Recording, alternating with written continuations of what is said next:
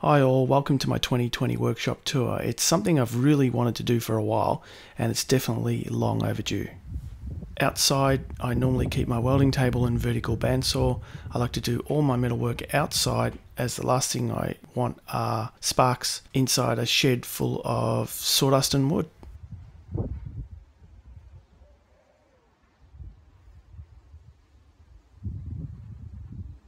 First machine you see walking into my shed is the Minimax combination machine. This is a table saw, a shaper, a jointer, a thicknesser, and it even has a mortising table that attaches to the side.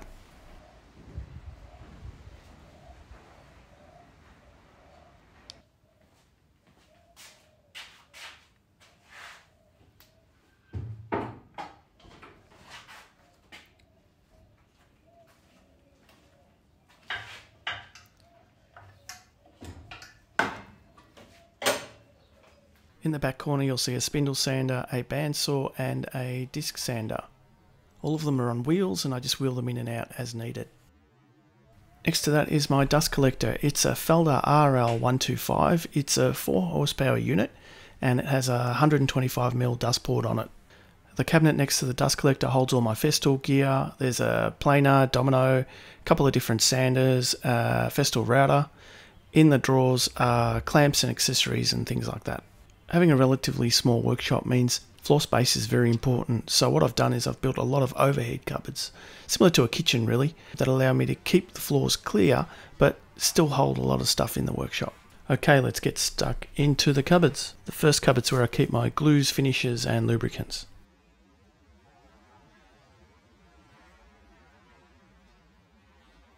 Second cupboard's where I keep some of my spray painting gear, uh, there's a jigsaw, a little nail gun, and a drill in there as well. Tucked away behind a blue carve CNC machine's a wood lathe. I hardly ever use it to be honest, but I really enjoy having it, and I enjoy turning actually. The next machine in my workshop is my Blue Carve CNC machine. It's a relatively new purchase. It's not something I ever thought I'd really want or need. But since having it, I've discovered a lot of uses for it, and there's no doubt its accuracy and repeatability is something I'd never be able to achieve by hand. On the back wall sits my drill press. It's one of my oldest machines, and every project pretty much gets a run on the drill press. I recently added a pull-out cart underneath the drill press. It allows me to gain a little bit more storage and when I roll it out it doubles as a laptop stand for the CNC machine.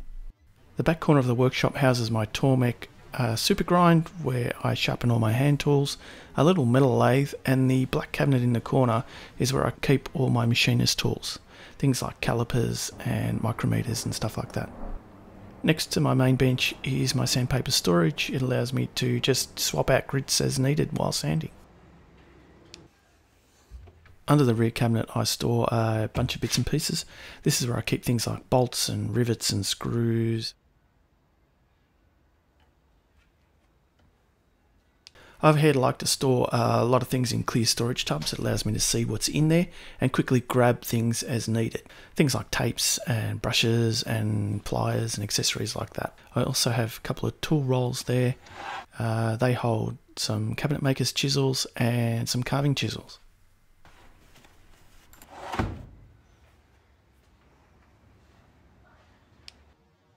Below the main cabinet are a number of F-clamps. Uh, most of them are Besseys.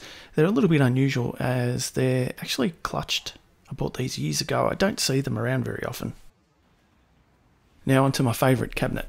This is where I keep all my hand tools. There's a bunch of wooden planes, uh, Lie-Nielsen planes, some spoke shaves, a couple of sets of chisels, calipers and things like that. Down the bottom you'll see a couple of router planes, a set of hammers, squares, dovetail markers. The front of the bench is where I keep some more clamps. There are some Bessey K bodies, and of course the frontline panel clamps that I use on most of my panel glue ops. Down the bottom left you can actually see a Moxon vise covered in dust. Whoops. In this last cupboard I keep Waterstones, extension leads, there's some there's a Kreg jig in there and some other jigs and accessories. There's a hinge jig, a shelf pin jig. The last major piece of equipment in my workshop is my router table. It's on wheels. It houses a Triton router. Uh, the fence is made by Kreg. The drawers are just full of router bits and things like that. On top you see a little grinder and a vacuum clamp and wall mounted behind it is a little compressor. Mounted on the wall beside the shed entrance is an air hose on a reel and a power cable on a reel. These really help keep my shop tidy and can pretty much reach all over the workshop.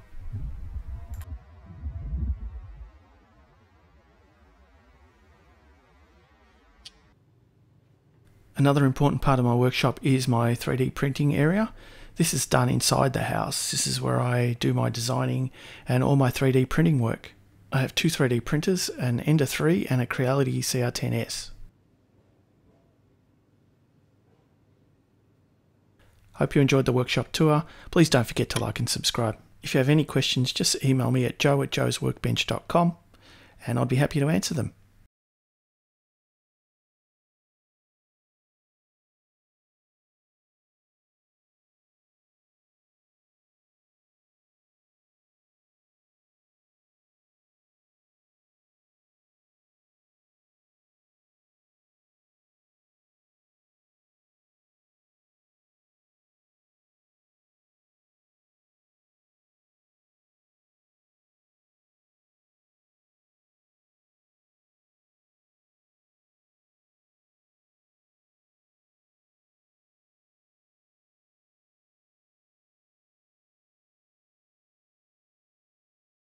Hope you enjoyed the workshop tour. Please don't forget to like and subscribe. If you have any questions, just email me at joe at joesworkbench.com and I'd be happy to answer them.